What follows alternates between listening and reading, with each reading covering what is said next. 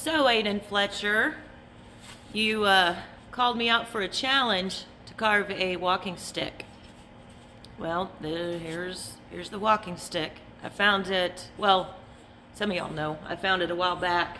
Um, it was out in the street in front of my house, and I kept saying I'm going to carve on it and haven't yet. So, Aiden, game on, buddy. Game on. Okay, bye.